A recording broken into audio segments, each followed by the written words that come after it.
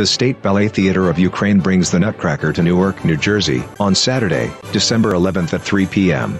For tickets call 888-696-5722 or purchase tickets online at njpac.org.